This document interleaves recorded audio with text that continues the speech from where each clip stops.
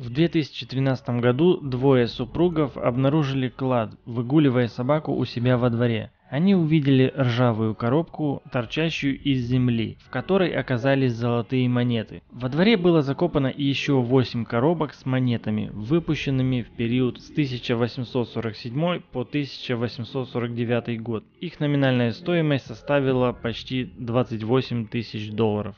Монеты отлично сохранились. Часть из них, видимо, никогда не была в обращении. Большую часть монет супруги распродали на аукционе. Как эти коробки оказались на заднем дворе дома, до сих пор остается загадкой. Находка получила название «Клад Седл Ридж». Его общая стоимость равна 10 миллионам современных долларов.